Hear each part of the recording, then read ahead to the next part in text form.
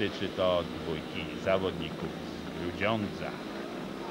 Knap Markuszewski czy Kurmański ze Stojanowskim już start. W kasku czerwonym Kurmański, znakomity start, ma największą y, szybkość. Niestety, niestety Stojanowski na końcu, a więc zanosi się na 3 do 3. Prowadzi Rafał Kurmański, Rafał Kurmański, za nim dwójka zawodników z Grudziądza.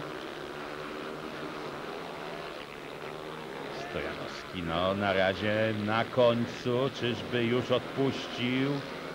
Trzeci jedzie Grzegorz Knap.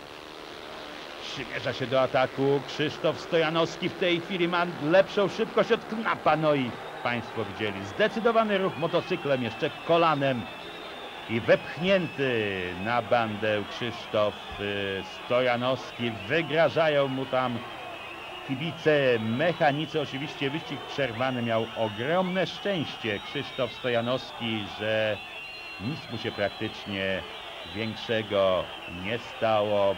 Było to, jak Państwo widzieli, bardzo niebezpieczne. Wepchnięty całą siłą na bandę Stojanowski odbił się od tej bandy. Mógł jeszcze zostać trafiony y, motocyklem. Wyraźny, wyraźny faul Grzegorza Knapa, który oczywiście przez sędziego